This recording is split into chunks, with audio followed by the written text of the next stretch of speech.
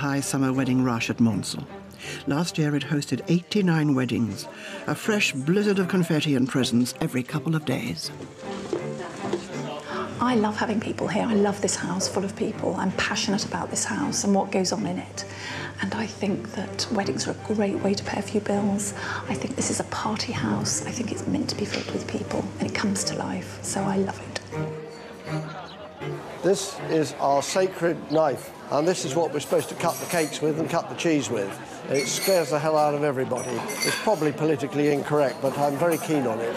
I don't generally let Benjamin loose on the wedding party until after they've had a few drinks, because um, he is a little bit controversial, a little bit eccentric, and he might say things that upset them. But after a few drinks, nobody really minds. There is one thing I have to warn you about, mm -hmm. and it's happened five times. Okay. That on the wedding night, this is true, it's not a ghost, but we've had five successes with children. Oh, no! I know. That bed is four or hundred years old, yeah. and it has magical powers. Does it? Yeah, and you, you can get seven people in it uh, and swing from the chandeliers and do whatever. if there are any problems or complications, please ring the bell.